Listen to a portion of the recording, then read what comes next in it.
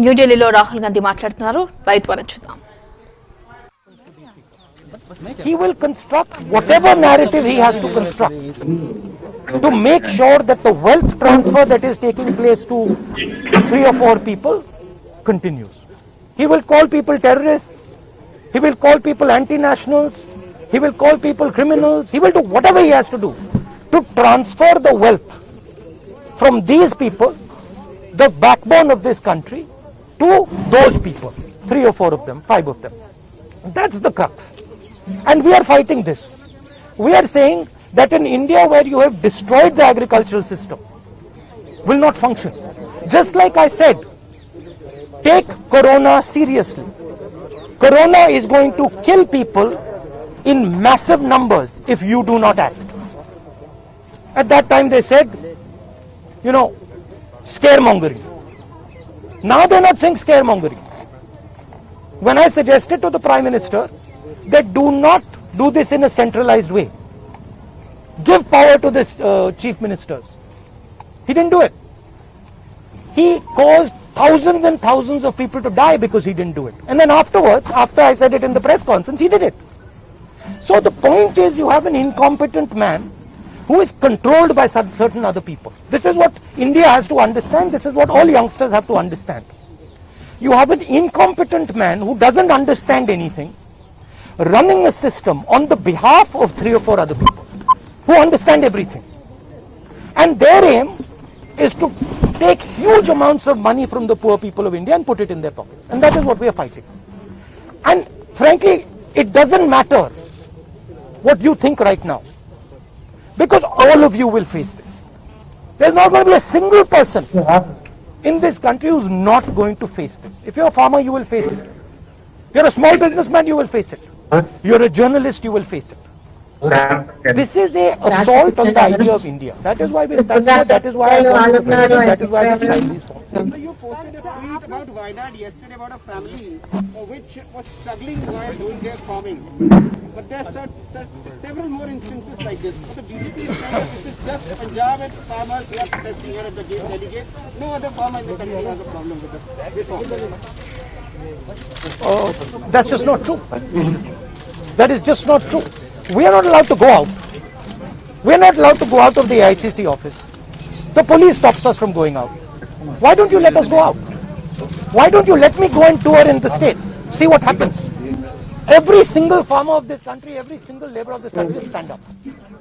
पर आप पुलिस लगवाते हो हाथरस जाते हो अरेस्ट करते हो तो एआईसी से हंस रहे हो, हमारे एमपी को बाहर नहीं निकलने देते हो। और फिर कहते हो कि भैया मतलब सब कुछ ठीक है। और prime minister needs to realise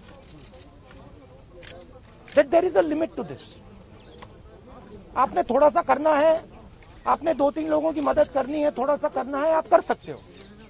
but जिस प्रकार से नरेंद्र मोदी कर रहे हैं, मैं फिर से दोहरा रहा हूँ, हिंदुस्तान के किसी भी युवा को रोज़गार नहीं मिलेगा। सारे छोटे बिज़नेस सारे मिडिल साइज़ बिज़नेस खत्म हो जाएँगे। और दूसरी बात याद रखिए, जिस चीज़ को आप सब भूल गए हैं, चाइना बॉर्डर पे बैठा है। चाइना ने हिंदुस्तान की हज़ारों किलोमीटर ज़मीन छीन ली है। प्रधानमंत्री उनके बारे में क्यों नहीं कहते? उसके बारे में चुप क्यों है? तो मेरा कहना है कि पूरा का पूरा कॉम्बिनेशन बन रहा है। एक तरफ़ आप अपने सिस्टम को तोड़ रहे हो। आप अपने लोगों को लड़ा रहे हो। आप अपने किसान को मार रहे हो, मजदूर को मार रहे हो। और दूसरी तरफ़ बाहर से फोर्सेस देख रही हैं। कह रहे हैं कि बहुत अच्छा है। नरेंद्र मोदी हिंदुस्तान को कमज़ोर कर रहा है और हमारे लिए अच्छी अपॉर्चुनिटी बनने जा रही है। मैं देश को बता रहा हूँ।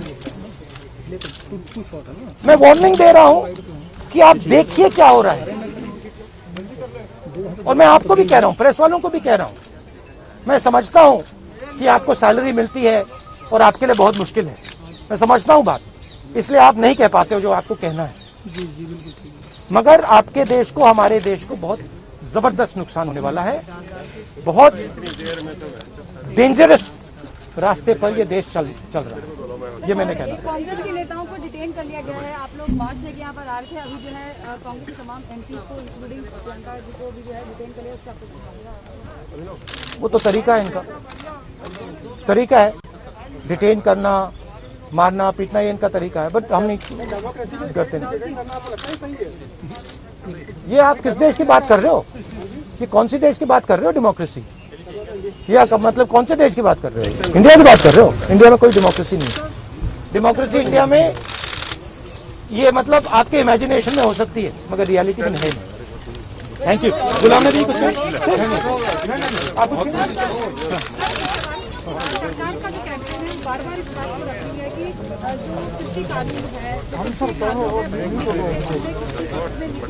इन्वेस्टमेंट को बढ़ावा देते हैं जो बहुत ज़रूरी है। आप इसको किस तरीके से हैं सरकार का इसी बेस तक हर गाँव तक जाना चाह रहे हैं। सवाल ये है इन्वेस्टमेंट कौन करेगा और इन्वेस्टमेंट का फ़ायदा किसको मिलेगा? सवाल ये है। आपकी सर रणनीति नहीं नहीं सुनिए सवाल ये है कि हिंदुस्तान के एग्रीकल्चरल सिस्टम में कौन इन्वेस्ट करेगा? और कौन पैसा बनाएगा? हिंदुस्तान के एग्रीकल्चरल सिस्टम में आज तक किसान ने इन्वेस्टमेंट किया है, मजदूर ने इन्वेस्टमेंट किया है। ये जो जवान हमारी सेना बॉर्डर पर खड़े हैं, इनके माता पिताओं ने किया है। इन्वेस्टमेंट ये करते हैं। और रिटर्न किसको मिलता है? रिटर्न दो तीन उनके उद्योगपति मित्रों को मिलता है। ये पूरा देश जानता है। पूरा देश इस बात को समझता है कि इन्वेस्टमेंट हम करते हैं। आपके माता पिता क्या करते हैं? हाँ। आप एग्रीकल्चर फार्मर थी। अब आप जर्नलिस्ट हैं है ना? तो आप जानते हो कि आपके फादर ने इन्वेस्टमेंट किया या नहीं? नहीं मैं तो जानती हूँ लेकिन अरे मैं आपसे पूछ रहा हूँ। आप दे, आप देश की आप देश की महिला हैं। आपके पिता ने इन्वेस्टमेंट किया ना? मेरी मदर फार्मर है। मदर फार्मर है उन्होंने इन्वेस्टमेंट किया ना? किसके लिए इन्वेस्टमेंट किया? क्या इन दो तीन लोगों के लिए इन्वेस्टमेंट किया? या आपके परिवार के लिए किया? आपके एजुकेशन के लिए किया? आपके स्वास्थ्य के लिए किया? आपके स्वास्थ्य के लिए किया? आपके एजुकेशन के लिए किया? मगर ये जो दो तीन बिजनेसमैन है, उनके लिए तो नहीं किया ना? तो सवाल यही है इन्वेस्टमेंट कौन कर रहा है? आपके माता पिता ने किया? करोड़ों किसानों ने किया? और रिटर्न किसको मिल रहा है? यही हम पूछना चाह रहे हैं कि क्या कांग्रेस की कोई इस बात को काउंटर करने के लिए गाँव तक जाना काउंटर करने की ज़रूरत काउंटर आप क्या बात कर रही हैं? काउंटर करने आप क्या बात कर रही हैं काउंटर करने के? मतलब आपको आपको ये नहीं मालूम कि अरे भाई आपको क्या आप आप क्या हिंदुस्तान के किसान को बेवकूफ़ समझती हैं क्या? तो फिर अगर आपको समझे तो उसको कैसे समझ नहीं है अगर ये यहाँ पे लाखों लोग जो बैठ हज़ारों लोग जो बैठे हैं दिल्ली के बाहर क्या ये मत सुनिए ये जो सुनिए ये जो लाखों लोग आए क्या ये मिठाई खाने आए हैं क्या? क्या इनको समझ नहीं है क्या हो रहा है? इनको समझ नहीं क्या हो रहा है? इनको मालूम है क्लियरली मालूम है। इनको मालूम है नरेंद्र मोदी चोरी कर रहा है। इनको मालूम है कि ये दिन भर इन्वेस्टमेंट करते हैं। चौबीस घंटा इन्वेस्टमेंट करते हैं और उधर इन्वेस्टमेंट कहीं और जाता है रिटर्न कहीं और जाता है। Thank you thank you very much.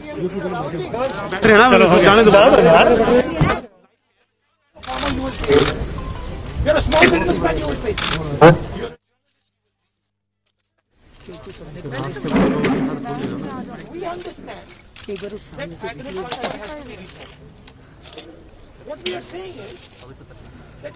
Destroy this system, if these millions of people have nothing to do, they will not be